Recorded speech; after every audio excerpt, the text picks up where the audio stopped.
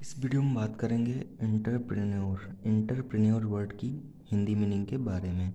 तो चलिए जान लेते हैं इंटरप्रेन्योर की हिंदी मीनिंग क्या है। तो इंटरप्रेन्योर की हिंदी मीनिंग है व्यवसायी। व्यवसायी। व्यवसायी। या फिर बोल सकते हैं उद्यमी। व्यवसाय। व्यवसायी।